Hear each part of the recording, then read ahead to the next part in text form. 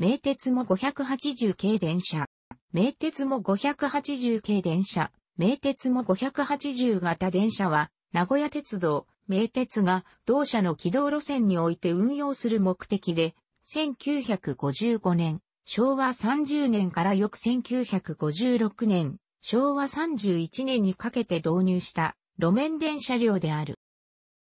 も580系以下、本形式はも581対も584の軽4両が製造され、岐阜市内線、美濃町線で運用された後、名鉄では1976年、昭和51年から1981年、昭和56年にかけて廃車され、1両を除いて、豊橋鉄道へ譲渡されても3200型と改め形式、改版された。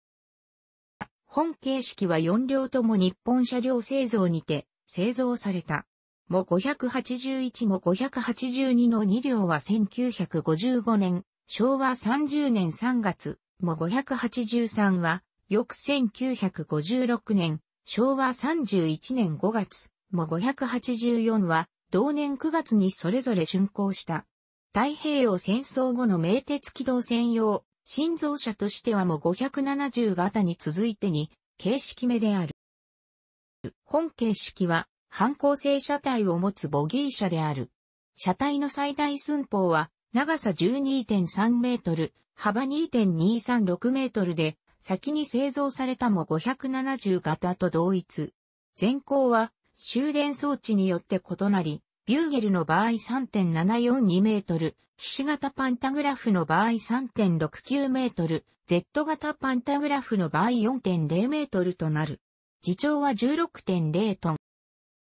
主要寸法はも570型を踏襲するが、車体中央にも客用扉を設置し3、扉車とされた点や屋根、前面の丸みが少なくなった点が異なる。前面は3枚の窓で構成され、側面窓は車端部の運転台脇部分に1枚ずつ、ドア間に4枚ずつの配置、窓配置イコール 1D4D4D1 である。ノーシルノーヘッダー構造だが、側面窓上に雨どいがつく。客用扉はすべて幅1.0メートルで、両端の客用扉は車端部に収容される形の2枚引き扉、中央の客用扉は、外側から見て、左手に開く1枚引きの片回避という構造。ドアステップは、レール面上 37cm の位置にあり、扉の開閉に連動して展開される補助ステップが付属した。なお中央扉は、名古屋市電の3、扉車と同様に、後部の車掌が操作する乗車専用扉として運用された。全消灯は岐阜線の多形式と同様、屋根上に設置された。1969年、昭和44年から翌年にかけて全消灯はシールドビームに変更され、小型化されている。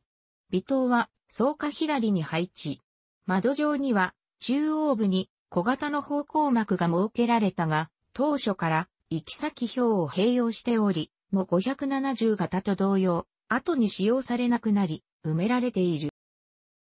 車体塗装は、機動線標準色である、装化能力色、上部クリーム色のツートンカラーで登場した。その後1975年、昭和50年7月より、新たに、名鉄の標準色となった名鉄スカーレットへの塗り替えが次進められた。内装については、ロングシートを採用し、それぞれのドア間、すなわち計4カ所に幅2.77メートルの座席が置かれる。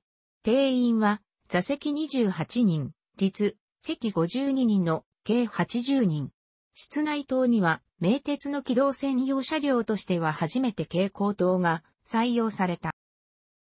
台車はも581対も583の3両が、住友金属工業製 KS-40J も584が、日本車両製造製 NS-9 を装着する。KS-40J 型はブリル 77E 型のコピー品で、中高製の台車枠側両と平行に重ねたバネを渡す点を特徴する製造当時の標準型路面電車用台車。メーカーの製造番号は H-2287 も570系のうち2両も同型の台車を装着する。一方 NS-9 型はメーカー試作のオールコイルバネ台車である。軸距は KS-40J が 1370mm、NS-9 が 1400mm、車輪径は両形式とも 660mm。主電動機はもう570型でも採用された、新光電気製の MT-60A、端子電圧 600V、出力 37.3kW を1両あたり2機、搭載する。駆動装置は吊り掛け駆動方式であり、歯車比は4.5に設定されている。制御装置は直接制御機を使用する。形式は2つあり、も581も582は、日立製作所製 DRBC447 も583も584は、日本車両製造製 NC103 を搭載する。内日立製制御機は、鉄道線も180系、元琴平急行電鉄で1系から転用されたものである。終電装置は、製造当時の装備ではも581対も583の3両がビューゲル、も584のミヒシ型パンタグラフであった。1974年、昭和49年にも581対も583の終電装置が Z 型パンタグラフに交換される。またも584は1968年、昭和43年頃に一時ビューゲル化された後、ひし形パンタグラフに戻され、さらに、豊橋鉄道転出直前には、Z 型パンタグラフに交換されていた。1955.56年に製造された本形式は、はじめ岐阜市内線へと投入された。その後市内線、伊比線直通列車、1967年、昭和42年12月運転開始にも510型、も520型が転用されたのに伴い、入れ替わりで本形式が、美濃町線へと投入された。しばらく、美濃町線での運用が続くが、札幌市電から連接車も870型が転入したのに伴いまずも584が余剰となり、1976年、昭和51年11月30日付で廃車された。残るも581対も583については、終電装置の変更のほか、1976年、昭和51年に正面ワイパーの自動化、翌1977年、昭和52年には放送装置の新設工事が、それぞれ施行され、引き続き美濃町線で使用された。しかし連接車も880系の心臓に伴い、残る3両も余剰となり、1980年、昭和55年12月15日付で廃車されて、本形式は形式消滅となった。このうち、後述する豊橋鉄道への譲渡対象から除外されたも583は、同時期に廃車となった850系、ナマズ852編成などとともに南知多、ビーチランドにおいて生態保存されたが、後年解体処分され現存しない。名鉄において余剰になったも580計4両のうち、前述も583を除いた3両については、東田本線、市内線の車両体質改善を目的に、豊橋鉄道が購入した。豊橋鉄道における形式名は、もう3200系で、最初に入線したも584がも3201、続いて入線したも581がも3202、も582がも3203と改版されている。豊橋鉄道での竣工日はも3201が1976年12月24日付、も3202も3203が1981年、昭和56年1月12日付である。豊橋鉄道での入線にあたり、3両とも赤岩口の自社工場にて改造工事が施行された二次車については、名鉄岐阜工場で準備工事を施行した上で搬入。その改造内容は、といったものである。このうち方向膜再設置については、最初のも3201は、名鉄時代に埋められていたものを復活させただけで、小型のままであったが、2次の2両では寸法を拡大して、施行された。この改善は後にも3201にも波及している。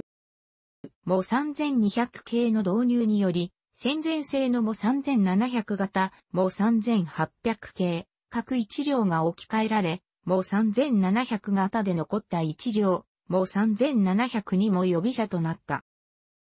本形式はも3100系7両に続いて、冷房設置工事が施行され、も3201が1994年、平成6年7月10日付、も3200にも3203が、翌1995年、平成7年6月30日付で、それぞれ竣工した。搭載された冷房装置は三菱電機製 CU77A 型で、冷房車は自重が16.8トンになった。冷房化と同時に、車体についてもすべての窓枠のアルミサッシ化、角型微灯への交換、雨どいの移設といった改造が施されている。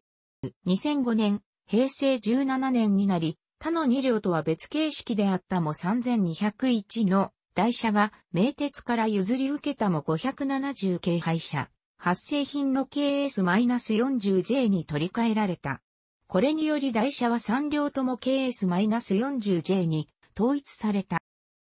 車内機器では2011年、平成23年2月11日の IC カード、乗車券、マナコ運用開始に伴い、IC カード対応運賃箱や旅客案内ディスプレイが車内に設置された。本形式は前述の通り、新豊鉄路と呼ばれる塗装で入線したが、1990年、平成2年より順次全面広告車両となった。ただしも3203に関しては2008年、平成20年に新豊鉄路へ復元されてる、下記、もう3203のイベント利用。2018年4月1日時点における広告スポンサーは以下の通り。なお、3201号の広告スポンサーは、名鉄800系2台800型に引き継がれている。もう3201の運用が2019年、令和元年9月19日をもって運用を終了した。終了の発表は9月13日に豊橋鉄道のホームページにて行われた。福井鉄道から譲渡されたも800系802が10月中旬頃より運用開始することが決定したため、超低小電車である T1000 系ホットラムの導入を機に、もう3203は、ストロークリーム地に赤帯を巻く、新豊か鉄色に塗り替えられ、2008年12月27日より、新塗装での運転を開始した。この新豊か鉄色のも3203は、翌2009年、平成21年夏のイベント列車、納涼ビール電車の運行に、前年までのも3100系、も3102に変わってついた。その他、冬のイベント列車、お電車の運行や、10月の豊橋祭りを記念した花電車としての運行がなされるようになり、2018年時点では装飾のない状態で運行される方が珍しくな、いる。書籍。楽しくご覧になりましたら、購読と良いです。クリックしてください。